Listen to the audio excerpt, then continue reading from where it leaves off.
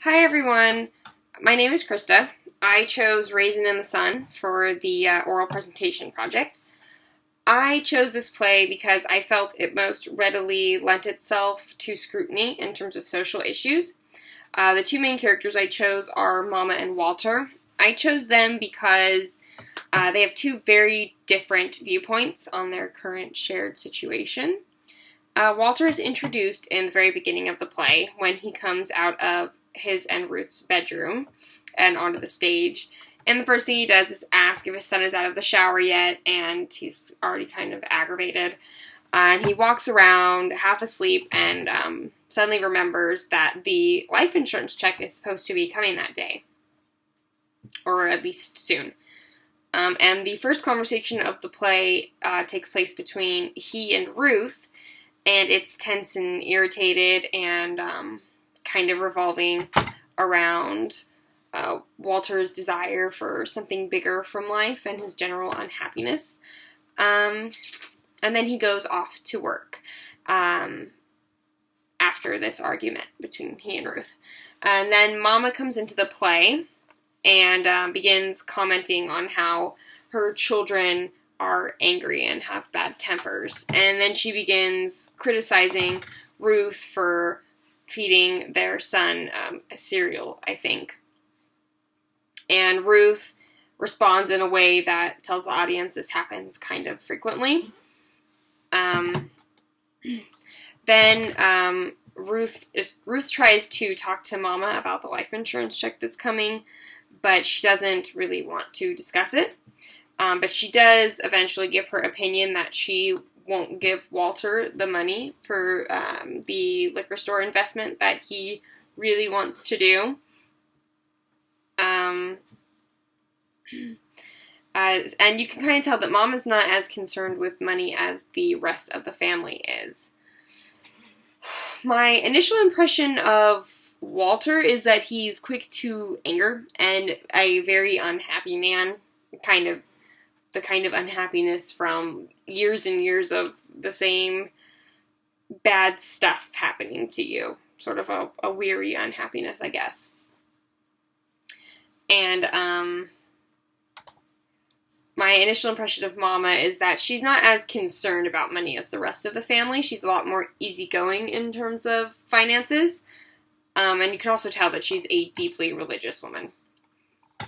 Uh, in terms of how each character behaves. I would say Walter is very quick tempered when it comes to money and very passionate about his desire for it. He's also extremely defensive of his hopes in terms of the liquor store and his ideas in general, um, which probably comes from him being put down uh, for them for most of his life. I think he behaves this way because of the nature of his job.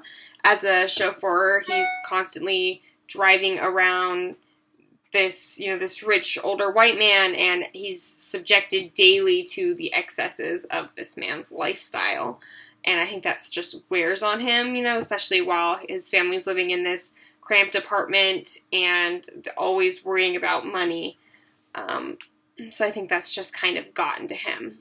Um, I believe that um, Mama behaves the way she doesn't about the money is um, that she's just happy with what they have. Like it's kind of a big improvement from what uh, she had, I assume, when she was younger.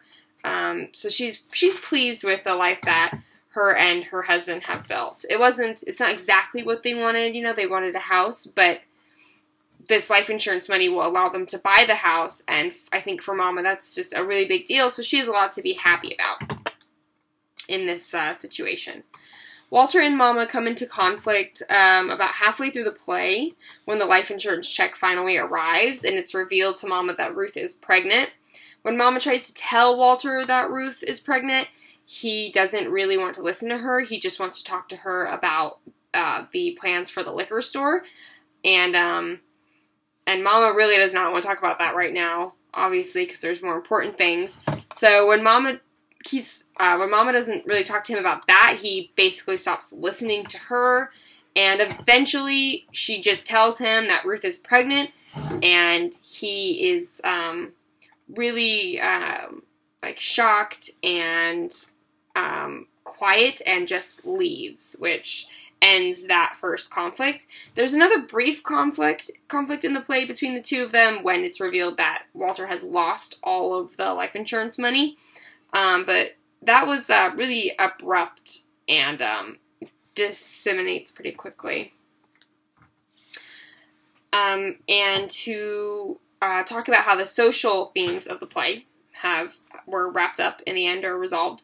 Um, I chose racism and economic inequality and economic inequality as my social issues.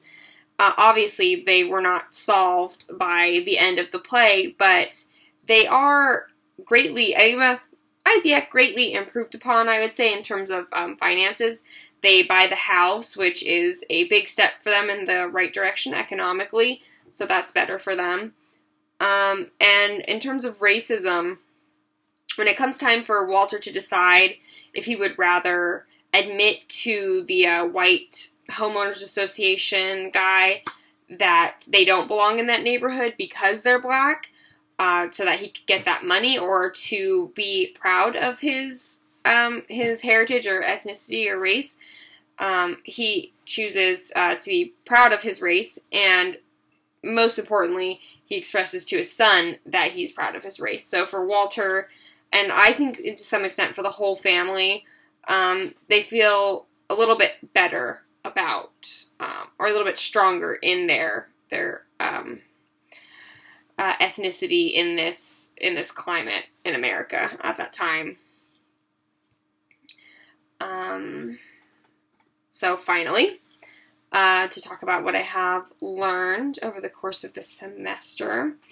Um, I would say that over the course of the semester, I have been um, subjected to authentic viewpoints from people of different cultures from my own, different backgrounds from my own, and in many cases, it's really humanized those uh, in those cultures for me.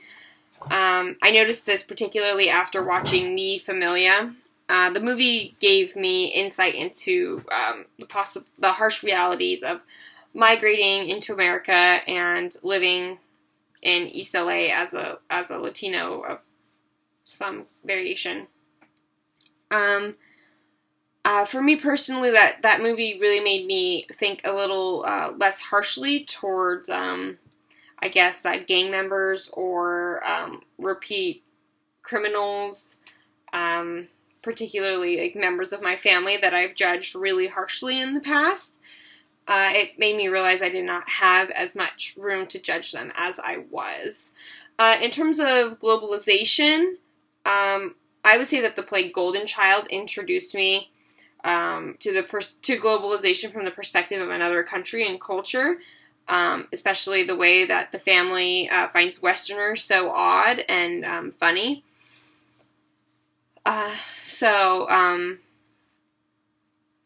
I think that um, that that the uh, play Golden Child really sort of um, really sort of um, changed the way or uh, broadened the way that I think about globalization from um, especially just from other perspectives, which I had never really considered before. I'd always considered it from my own American perspective.